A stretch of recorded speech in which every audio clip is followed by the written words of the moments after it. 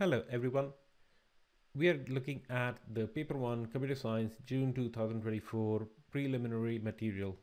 In this material we get a skeleton program and a data file which we are going to be looking at and talking about.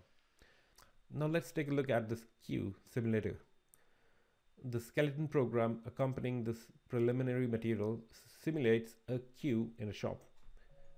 When the simulation runs, buyers arrive at the till at irregular intervals with a varying number of items in their baskets.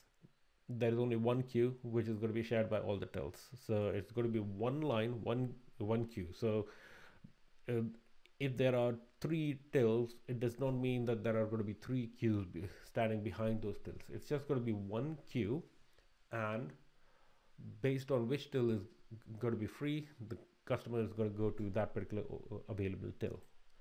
That's going to be the scenario. The buyer arriving joins the queue and whenever a till becomes free, the buyer at the front of the queue leaves the queue and gets served at the till. The skeleton program allows the user to choose how long to run the simulation for and how many tills to have in the operation.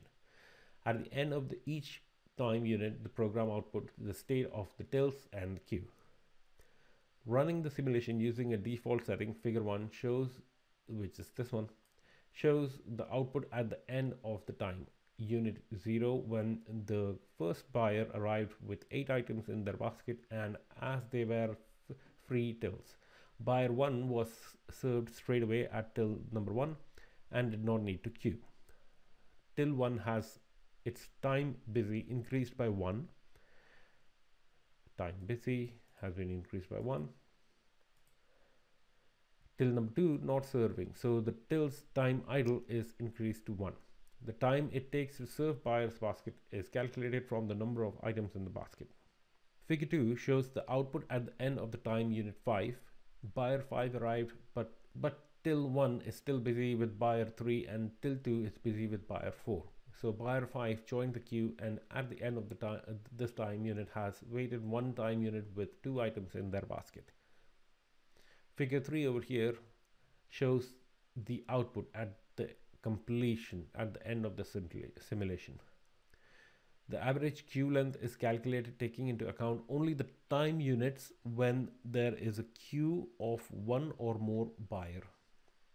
The simulation program makes use of the data, the simulation text file, which contains rows of data of the format d colon n, where d is the number of time unit to elapse before the next buyer arrives with a basket of items.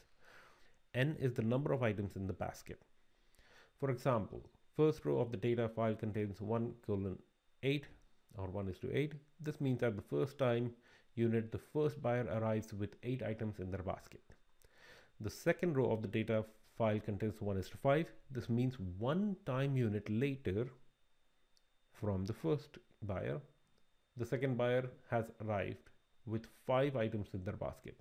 So that is what this paper is about.